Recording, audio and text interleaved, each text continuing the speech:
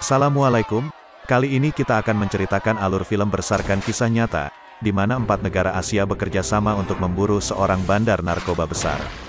Mampukah keempat negara ini melakukannya? Tapi saya ingatkan dulu bahwa Anda akan merasa menonton film fullnya. Inilah dia alur cerita film Operation Mekong.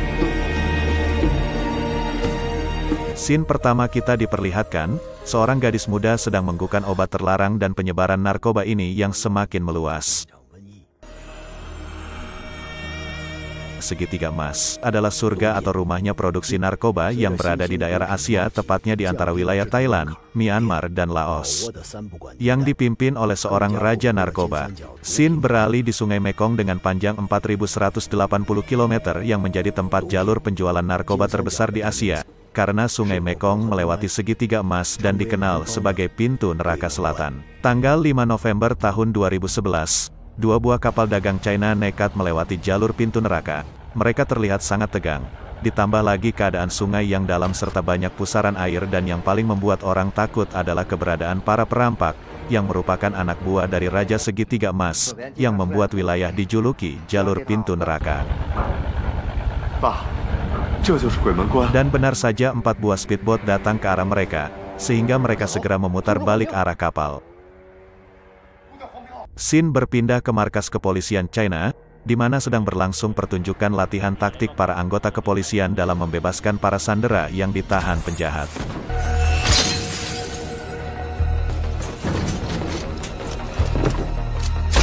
Dan salah satu anggota kepolisian memberitahukan kalau terjadi insiden di Mekong.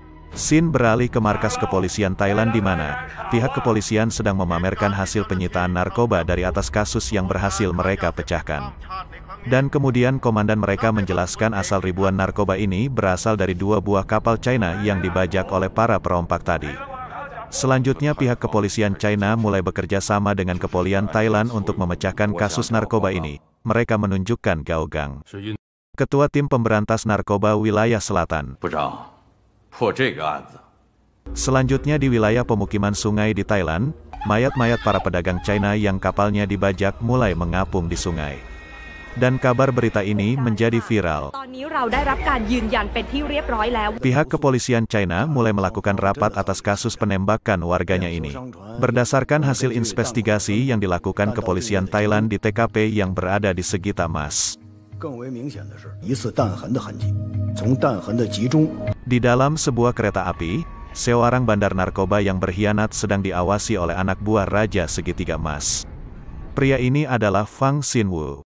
Intel dari kepolisian China yang sedang menyamar dan menyelidiki kasus narkoba dan penembakan ini, sekaligus menjadi informan kepolisian China.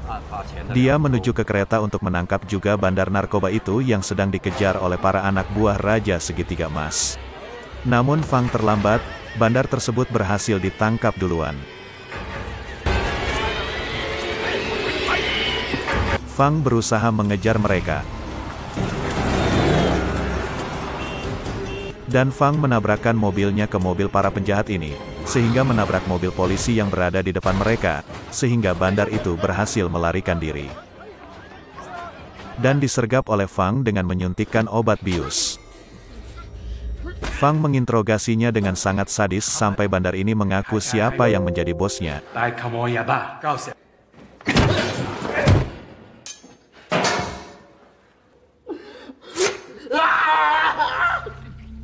Dia mengaku bahwa Ye Tuchin yang menyuruhnya untuk meletakkan narkoba di kapal para pedagang China yang dirampok oleh anak buah Raja Segita Emas tersebut. Sin beralih di mana para petinggi kepolisian China ingin melakukan kerjasama dengan tiga negara Asia yaitu Thailand, Laos dan Myanmar, untuk menangkap Raja Segitiga Emas yaitu Nauhar yang telah membunuh 13 para pedagang China. Tanggal 31 November tahun 2011, akhirnya empat negara Asia ini menjalani kerjasama untuk memberantas kejahatan yang terjadi di Sungai Mekong yang dipimpin oleh organisasi Nauhar serta menyelidiki kasus penembakan ke-13 warga China. Pasukan gabungan empat negara ini mulai menjalankan misi mereka, tempat-tempat produksi narkoba, para pengedar narkoba, satu persatu disergap dan ditangkap.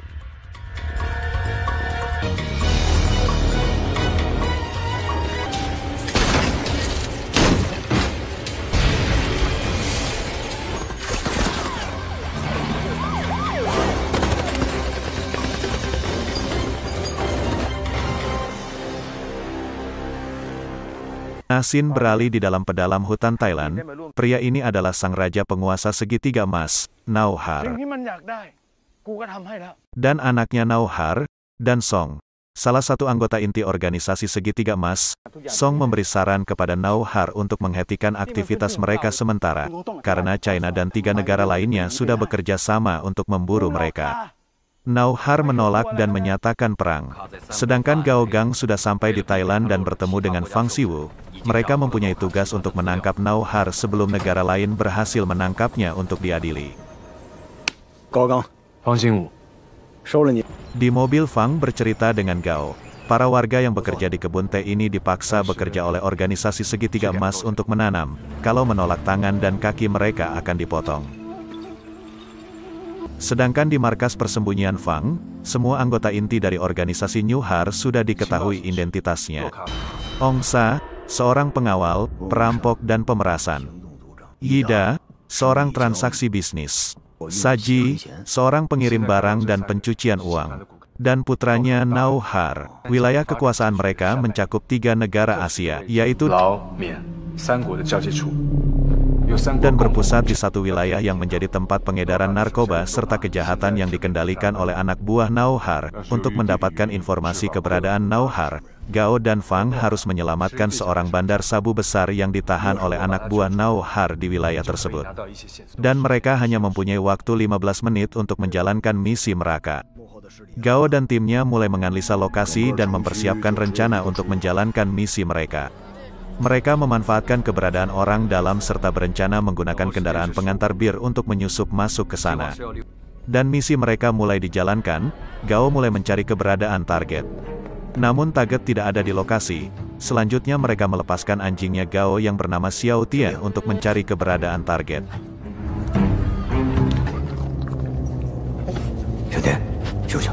Namun hal yang tidak terduga, anak buah Nauhar juga mengincar si target dan informan mereka. Akhirnya Gao berhasil menemukan keberadaan target yang sedang disiksa oleh anak buah Nauhar. Gao memberikan perintah misi penyelamatan mulai dijalankan.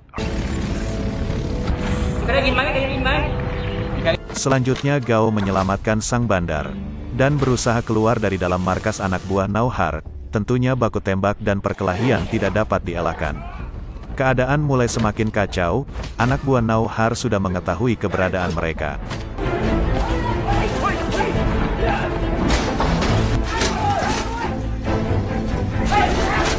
Sedangkan Ongsa mencurigai anggota Gao yang pergi ke lokasi penjemputan dan mengikutinya. Di atas atap gedung Gao dan rekannya berusaha lolos dari kejaran anak buah Nauhar.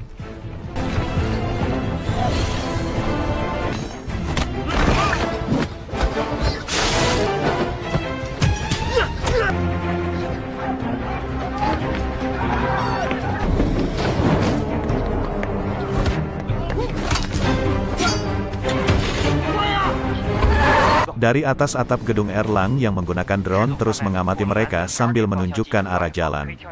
Karena situasi mulai mencekam, tim Gao yang lainnya mulai beraksi dengan menembaki anggota Nauhar. Sedangkan Gao dan Fang masih terus dikejar sambil dilempari dengan parang. Dan Gao berhasil lolos dari kejaran. Namun pengejaran mereka belum berhenti. Anak buah Nauhar yaitu Ongsa melihat kejadian tersebut kemudian mengejar Gao. Dia menembakkan mobil Gao dengan basoka, namun tembakan Ongsa meleset, pengejaran masih berlangsung. Tembakan kedua Ongsa mengenai target. Saat mobilnya terbalik Gao menembaki Ongsa yang membuat mobilnya juga berhenti.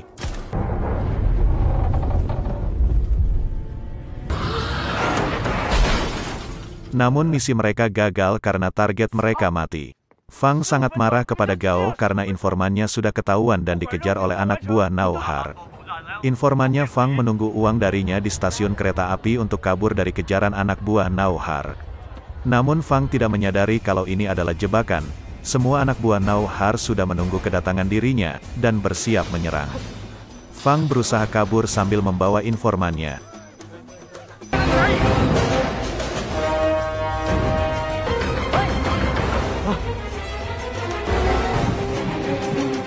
Karena merasa mulai terpojok, Fang melepaskan penyamarannya.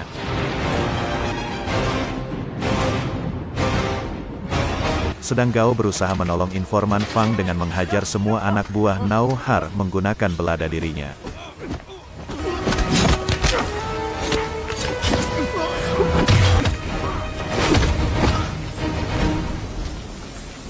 Di mobilnya, Gao mengatakan kalau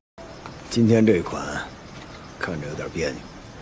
Malam harinya mereka makan bersama di sebuah kapal yang menjadi markas Gao dan rekan-rekannya.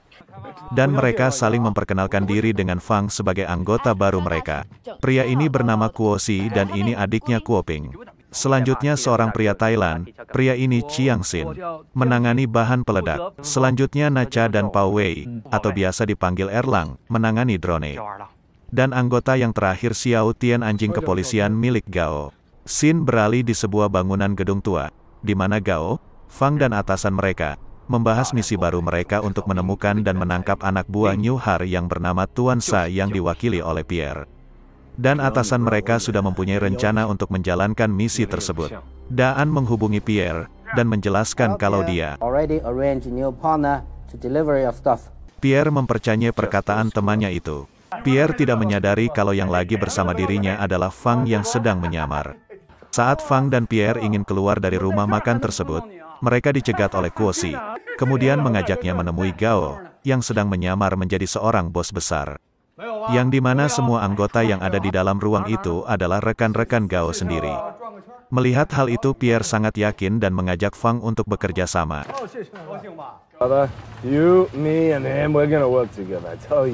Sin berpindah ke tempat markas Tuan Sa yang berada di penjara. Pierre meyakinkan dia untuk bekerja sama dengan Fang dan Gao. Dan pria ini bernama Sinten, salah satu orang kepercayaan Nauhar. Tuan Sa meminta dia untuk bernegosiasi dengan Gao soal bisnis yang Pierre ceritakan. Di sebuah bar, Gao dan Sinten mulai membicarakan soal keuntungan dari bisnis mereka. Gao pura-pura menolak tawaran dari Sinten. Fang mulai menyadari identitas pria suruhan Tuan Sa itu. Fang teringat akan sebuah kenangan masa lalunya. Atasannya menenangkan Fang supaya tidak membawa dendam pribadinya dalam misi ini. Gao bertanya dengan atasannya soal Fang dan Sinten. Lima tahun yang lalu Sinteng membunuh pacarnya Fang. Dan kemudian kabur ke segitiga emas, Fang teringat kembali kenangan saat momen pacarnya itu meninggal karena ulah Sinten yang membuat pacarnya menjadi seorang pecandu narkoba.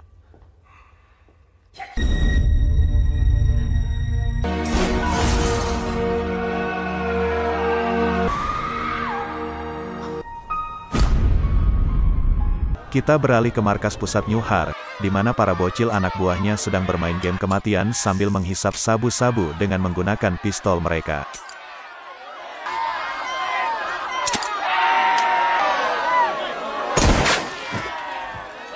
Tuan Sa menghubungi Nau Har dan menjelaskan kalau dia ingin menjalani bisnis bersama bos Chien yaitu Gao. Dan Nau Har menyuruhnya untuk mencoba melakukan sekali transaksi terlebih dahulu. Pierre menghubungi Fang dan mengatakan kalau kesepakatan mereka telah disepakati. Gao sudah menempatkan seluruh timnya di mall yang menjadi tempat pertemuan mereka dengan anak buahnya Nauhar. Transaksi mereka mulai dilakukan. Di dalam tas yang berisi uang, sudah mereka letakkan alat pelacak,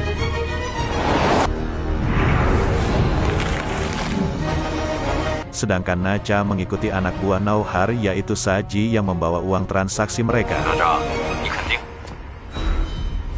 Sedangkan dari markas kepolisian, mereka mendengar pembicaraan Saji dan Song tentang pembagian dan pencucian uang dari alat penyadap yang dipasang Nacha. I thought the deal was 1.5 million. Erlang dari kejauhan mengamati cara bicara Yida yang seolah-olah mengikuti perintah seseorang, dan yang mengendalikannya adalah putranya Nauhar.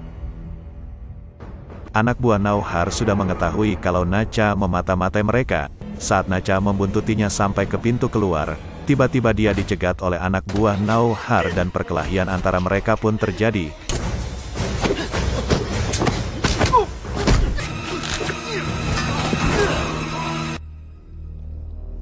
Sin Teng terus memandang Fang seolah-olah dia mengingat sesuatu dari Fang ini, dan kemudian dia teringat akan kejadian lima tahun yang lalu, dan pistol Fang sudah menempel di kakinya. Sedang Necha dan rekannya terus mengikuti anak buah Nauhar yang membawa buang. Mereka pun menyadarinya dan kemudian membuang uang itu beserta tasnya untuk menghilangkan jejak mereka, dan misi mereka terbongkar. Mereka pun saling menatap dan kemudian, baku tembak pun terjadi yang membuat kekacauan di dalam mall.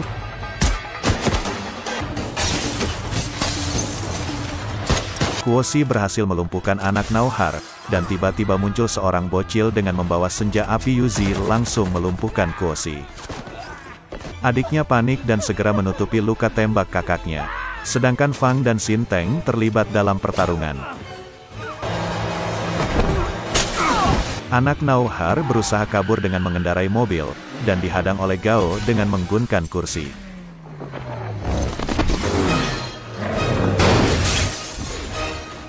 Aksi penangkapan mereka berhenti saat pihak militer setempat datang ke lokasi mereka. Mereka semua menunggu kabar dari Kuosi yang dirawat di rumah sakit. Akibat luka tembak yang cukup parah, kaki Kuosi terpaksa diamputasi. Nauhar sangat marah dengan Song, yang menyuruh dia untuk pergi meninggalkan segitiga emas daerah kekuasaannya, dan dia akan membuat perhitungan dengan anggota kepolisian. Ternyata Saji dan Song ini ingin mengkhianati Nauhar dengan memanfaatkan situasi saat ini yang sedang kacau. Mereka ingin mengambil harta karun simpanan Nauhar. Anaknya Nauhar diinterogasi dengan cara digantungkan di helikopter, Akhirnya informasi bagaimana Nauhar dan anak buahnya menghabisi ke-13 orang China ini terbongkar. Fang dan Gao berniat untuk membawa Sin Teng dari tempat dia dirawat. Namun mereka terlambat, anak buah Nauhar sudah duluan mendatangi rumah sakit dan membebaskan Sin Teng beserta anaknya Nauhar. Melihat hal itu Gao dan Fang mengejar Sinteng dan anaknya Nauhar. Mereka berusaha lari dari kejaran Gao dan Fang dengan menerobos berikade militer yang sedang melakukan pemeriksaan. Namun gagal dan aksi saling kejar-kejaran mereka terjadi. Mobil yang dikendarai anak Nauhar dan Sinteng terguling. Yang membuat anak Nauhar terjebak di dalam mobil. Sedangkan Sinteng berhasil melarikan diri. Dia menyandera para pekerja di sana dan menusuk salah satunya. Untungnya Gao cepat datang dan menembak Sinteng. Di akhir hayatnya, Sinteng masih membicarakan soal pacarnya Fang, yang menyulut kemarahan Fang kemudian menembak kepalnya Sinteng hingga berderai otaknya. Sin beralih di mana Nauhar sedang memberikan asupan sabu-sabu ke para bocil-bocilnya, untuk menyuruh mereka melakukan bom bunuh diri ke markas pusat kepolisian gabungan empat negara yang berani menentangnya. Sekarang di depan markas pusat kepolisian dua bocil berusaha menerobos masuk ke dalam kantor polisi dengan membawa tas yang berisikan bom.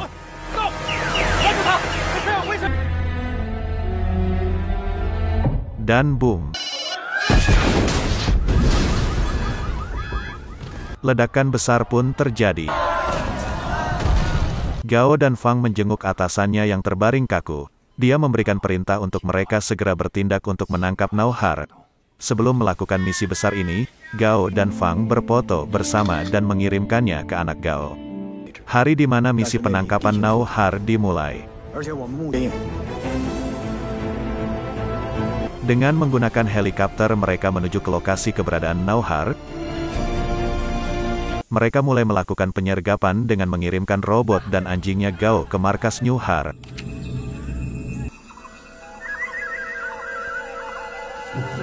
Satu persatu anak buah Nao Har dilumpuhkan.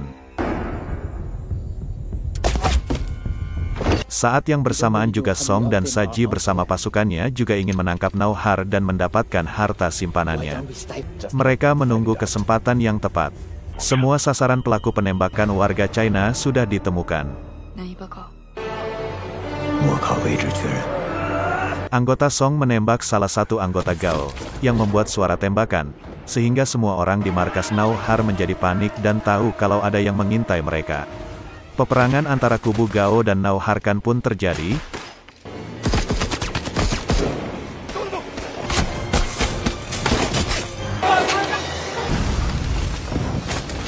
Mereka berusaha menangkap Nauhar hidup-hidup.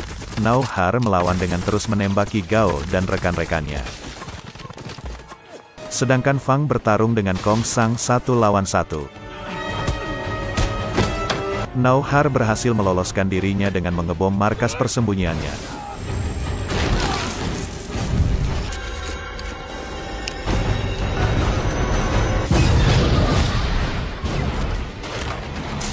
Sedangkan pertarungan Fang masih terus berlangsung, dan akhirnya Fang berhasil melumpuhkan Kong Sang.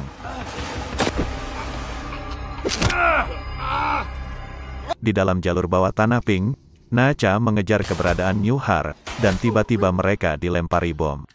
Dengan sigap Nacha mengambil sebuah panci dan menutupi bom tersebut demi melindungi Ping dan rekan-rekannya. Tim Song dan Si Ji terus membuntuti ke mana Nau Har kabur, sedangkan anggota Gao, memanggil helikopter untuk membawa rekan-rekan mereka yang terluka. Gao bersama anjingnya mencapai mulut goa tempat Nau Har bersembunyi. Song dan Si Ji sudah mengetahui tempat Nau Har menyimpan harta-hartanya.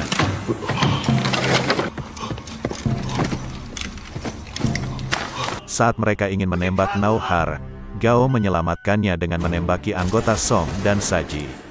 Nau Har memanfaatkan kesempatan ini untuk kabur, namun dia berhasil tertembak oleh anggota Song dan Saji. Untuk mengejar Nau Har Gao harus melewati ladang ranjau. Dia menyuruh anjingnya lari melewati ladang ranjau untuk memicu ledakan.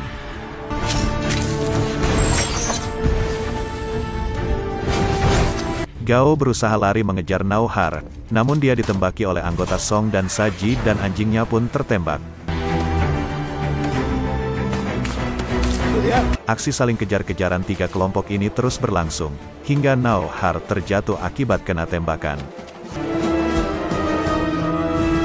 Fang sampai lokasi tempat Gao dan menghadang anggota Songji,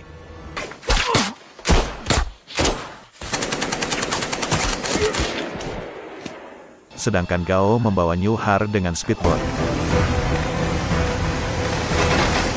Namun anggota Song Ji yang banyak berhasil mengejar Gao. Kapal Gao makin melambat akibat mesin speedboatnya tertembak. Fang terus memacu speedboatnya untuk menyusul rekannya yang hampir tertangkap. Gao tertembak sehingga dia hilang kendali dan menabrak batang kayu yang membuat dia terlempar dari speedboatnya. Dari belakang Fang berhasil menyusul Gao dan segera mengejar speedboat yang membawa New Har, dan akhirnya Gao berhasil mencapai speedboatnya kembali dan berhasil mengendalikannya sebelum menabrak bebatuan. Tiba-tiba speedboat milik Gao berhenti, dan rekannya Fang juga tertembak. Helikopter bala bantuan mereka sampai dan mulai mengevakuasi Gao bersama Nauhar, sedangkan Fang terus melindunginya dari atas speedboatnya. Anggota Song Ji terus berdatangan, karena peluru Fang sudah habis, dia mengorbankan dirinya dengan menabrakkan speedboatnya ke arah Song Ji.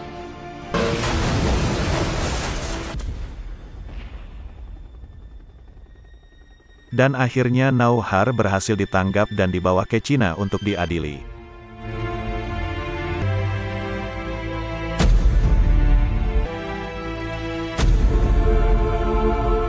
Gao bersama rekan-rekannya memberikan penghormatan terakhir pada rekan-rekannya yang telah gugur dalam misi ini.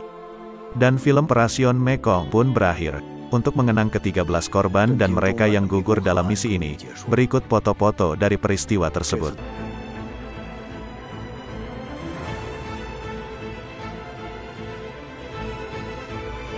Terima kasih yang sudah menonton dan berkunjung ke channel ini. Wassalam.